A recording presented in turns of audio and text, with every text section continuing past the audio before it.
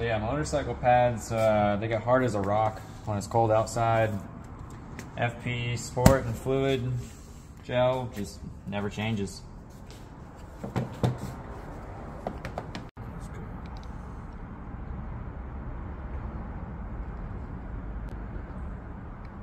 See, look at that. It's hard as a metal refrigerator.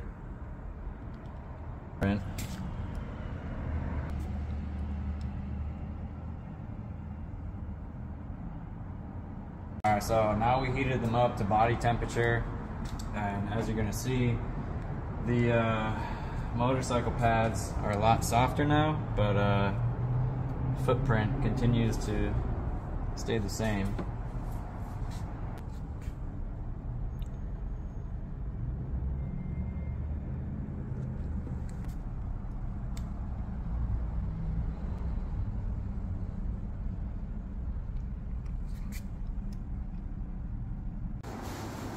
So now we're gonna test it with the Fluid X, see what happens.